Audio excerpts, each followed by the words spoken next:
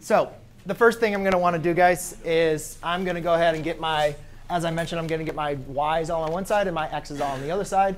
So I'll basically uh, multiply by dx on both sides and divide by dy on both sides. So therefore, I have dy over the square root of y equals x squared dx. Right? And I can go ahead and simplify this a little bit more.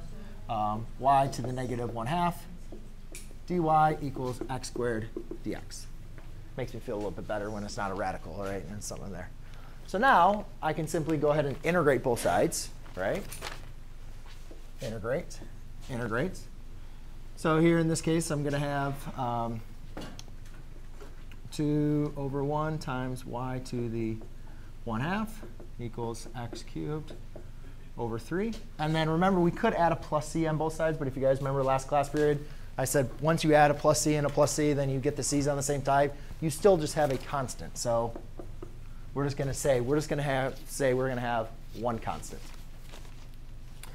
Um, now in this case, if you in this case we could also we need to we have a general solution. If you guys see that, or sorry, a particular solution.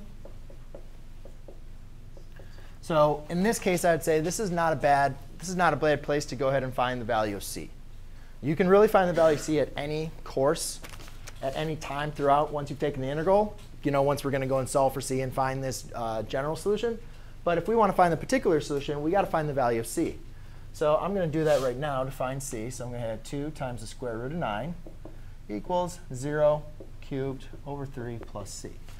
Again, that's the information that was provided to me. So obviously, the square root of 9 is 3. So that 2 times 3 is 6 equals c.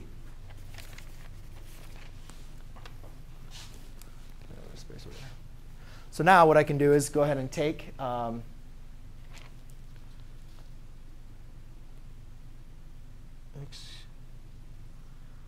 oh. So now let's go ahead and go back to 2 square root of y equals x cubed over 3 plus 6. So I'll take this up here, and I'll go from there. Now we just need to solve for y. Divide by 2, divide by 2. Square root of y equals x cubed over 6 plus 3. Right? Divided by 2 is like the same thing as multiplying by reciprocal. And then we'll square both sides.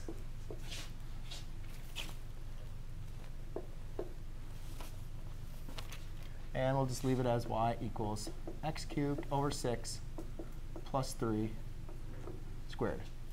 Could we expand that out if we needed to? Yes, we could. But do we have to? No, that's going to be perfectly fine unless it's like a multiple choice test and they don't have the answer.